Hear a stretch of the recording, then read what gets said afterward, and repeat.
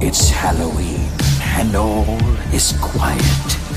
But undead pigs prepare to riot.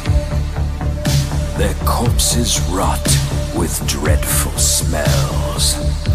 The birds defend their nest and shells.